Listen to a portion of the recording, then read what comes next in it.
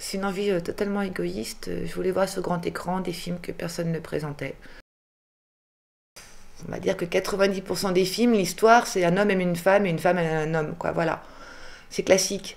Maintenant, c'est la façon dont on le raconte. Là, ça devient intéressant. Et dans les films qu'on présente là, bah, je trouve qu'ils ont une façon de raconter euh, qui est autre.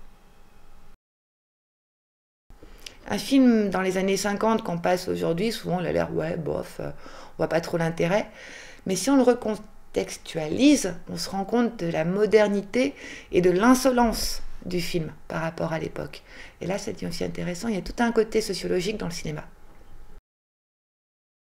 Mon but, c'est que le public qui vient voir les films soit surpris d'abord, parce qu'il voit qu'il voit un, cinéma différent de ce qu'il y a actuellement sur les écrans, pour lui rappeler que le cinéma est très très riche et surtout très varié. Et je veux que le public sorte de la salle heureux. Je veux qu'il soit heureux des films qu'il a découverts. Voilà.